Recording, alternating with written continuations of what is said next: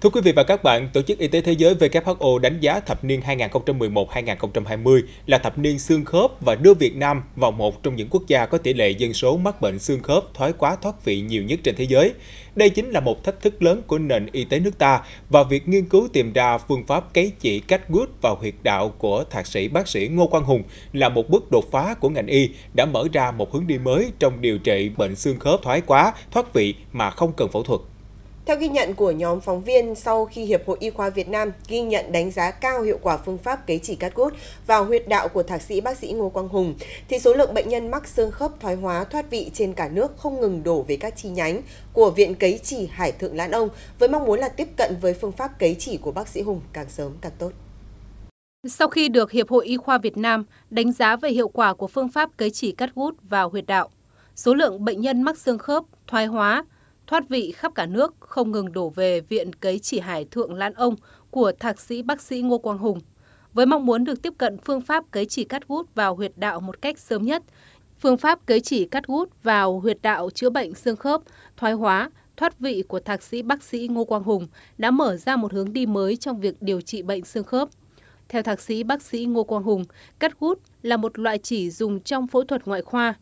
Bản chất của chỉ cắt gút là một protein tự tiêu, được đưa vào các huyệt vị bằng đầu mũi kim. Khi cấy chỉ cắt gút vào huyệt, giúp cải thiện tuần hoàn máu cho vùng cấy chỉ, giúp tăng trưởng lực các sợi cơ. Sở dĩ cấy chỉ cắt gút làm được điều này vì trong quá trình tự tiêu, phản ứng hóa sinh tại chỗ sẽ làm tăng tái tạo protein, hydrat carbon và tăng dinh dưỡng tại chỗ.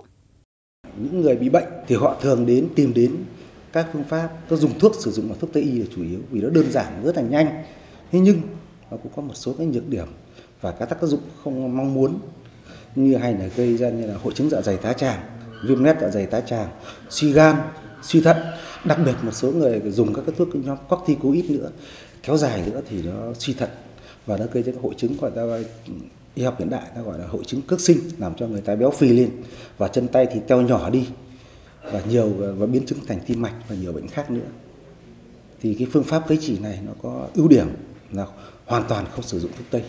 Nên cho nên chúng ta không sợ sử dụng cái cái biến chứng của thuốc tây.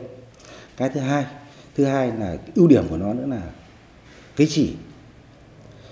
Nó có hiệu quả rất là cao.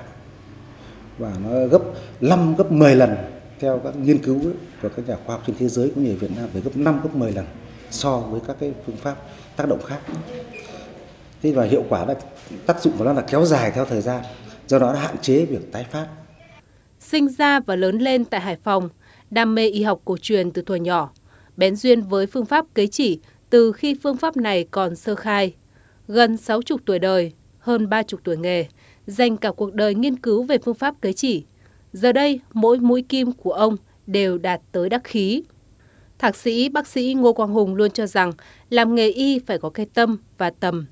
Với ông, tâm và tầm của người thầy thuốc không chỉ là sự khiêm tốn, giản dị, nhiệt tình và trách nhiệm mà nó còn thể hiện ở tình thương yêu người bệnh, coi nỗi đau của người bệnh như của chính bản thân mình. Chính vì vậy, để giúp bệnh nhân ở xa tiết kiệm được chi phí đi lại, Thạc sĩ bác sĩ Ngô Quang Hùng đã quyết định mở thêm các phòng khám cấy chỉ tại Đà Nẵng, thành phố Hồ Chí Minh và Cần Thơ và một số tỉnh thành khác. Việc làm này đã giúp đông đảo bệnh nhân xương khớp nhanh chóng được tiếp cận với phương pháp điều trị bệnh xương khớp, thoái hóa, thoát vị bằng phương pháp cấy chỉ cắt hút mà không cần phải di chuyển xa xôi. À, cô bị à, thoái hóa hai đốt sống cổ với lại à, thoái hóa hai à, đốt lưng, ngay thắt lưng á. Thì cô nghe là có chi nhánh ở đây á, chi nhánh ở Dĩ An mở tại Đông Hòa Dĩ An. Đây cô cô mới à, lên thì cũng cái này mình cũng chưa có tìm hiểu được là cấy như thế nào nhưng mà được lên đây được nghe các bác sĩ tư vấn thì mình à, mình hiểu được. Và cô cấy một lần thứ nhất cách hai tuần sau cô cấy một lần nữa. Thì tính ra cô cấy này là cách uh, coi như cô cấy được hai lần. Thì bây giờ người nó khỏe cũng hơn 80 phần trăm. Như cái cổ cô là giờ hết hẳn luôn. Sáng dậy là bình thường là hết hẳn luôn. Còn uh, lúc trước cái chân thì mỗi lần mà đứng lên là phải co lại. Cứ bóp nắng phía sau này từ từ mới hạ cái chân xuống mới đi được nhà ai cũng sợ lắm nhưng mà rồi từ lúc cấy tới giờ thì nói chung cô khỏe. À, với hôm hôm trước bác sĩ tư vấn nói là nếu mà hơn chừng trên 80 trăm thì ngưng. Thì cô cảm nhận được là mình rất là khỏe. Rồi sẵn gặp chương trình á cũng có vài lời nói để cho nhiều người không có hiểu. Ví dụ như người mình chưa chưa có biết được cái chương trình này chưa biết cái cách chữa bệnh này thì mình cũng yên tâm. Yên tâm à, vô đây thì à, nói chung được à, các à, các em các cháu tư vấn kỹ lưỡng thăm khám kỹ lưỡng tư vấn chỉ mình cách thức này nọ. Cho nên là chăm sóc kỹ lưỡng mà nhỏ nhẹ tới nhị nói chung dễ thương. Thì cô cũng cảm ơn. Thì bữa nay sẵn tới đây thì cô cũng cảm ơn các em các cháu trong đội ngũ luôn à, trong cái chi nhánh mình thì ờ, nói chứ ờ, sức khỏe là trên hết mà. Cho nên là khi được thì cô vui lắm.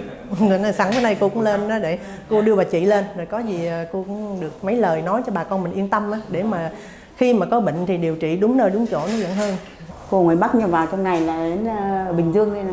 Cô ở hiện bây giờ cô vào đây mấy chục năm rồi mà nhưng mà ở bình dương. Cái thắt lưng của cô á là cô làm ở trong mê tông 620 thì cô làm nặng. À, khiêng sắt thép mấy gì đấy lại khá như thế. Thế sau này thì thấy nó nó cứ nhức. Cô đi châm cứu hết chỗ này chỗ kia rồi đắp thuốc này ra chỗ kia không ăn thua. À, uống rượu thuốc này khác đủ kiểu không ăn thua. Vừa rồi là cô tưởng cô lết hai chân. Nếu mà cô chậm lên trên này đi đi cấy chỉ thì là là là cô bước không được đâu đấy. Thế nhưng mà đến lúc đi cấy về một cái cô thấy nhẹ nhõm. Trời mừng quá đi, nhẹ nhõm hết cả người luôn thế này này. Cô đi hai lần là ờ, cô cảm thấy là nhẹ được 70% rồi. Từ kết quả điều trị của các bệnh nhân thì việc ứng dụng thành công phương pháp cấy chỉ cắt gút vào huyệt đạo của thạc sĩ bác sĩ Ngô Quang Hùng thực sự là bước đột phá mới của ngành y trong việc tìm ra phương pháp điều trị bệnh xương khớp, thoái hóa và thoát vị mà không cần phẫu thuật, giúp hàng triệu bệnh nhân mắc xương khớp, thoái hóa, thoát vị, thoát khỏi sự đau đớn của bệnh tật, trở về với cuộc sống vui vẻ, hạnh phúc.